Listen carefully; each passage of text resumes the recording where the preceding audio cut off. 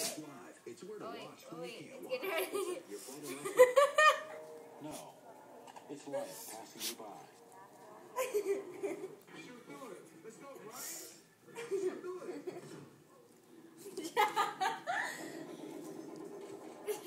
fell over. She got so dizzy. SportsCenter.com covers the people, headlines, and highlights that have the sports world buzzing.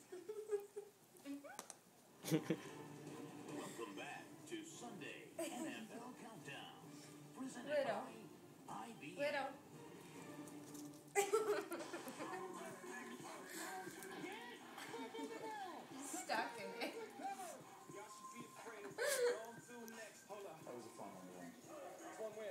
The only way we get this sour taste out of our mouth with December is just to win. She's making herself so dizzy.